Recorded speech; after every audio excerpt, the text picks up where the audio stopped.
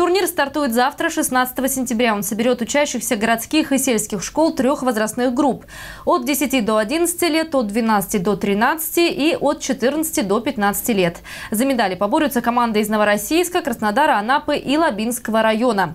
Предварительный отбор спортсмены прошли, победив во всекубанском турнире по легкой атлетике на Кубок губернатора Краснодарского края, сообщает администрация города.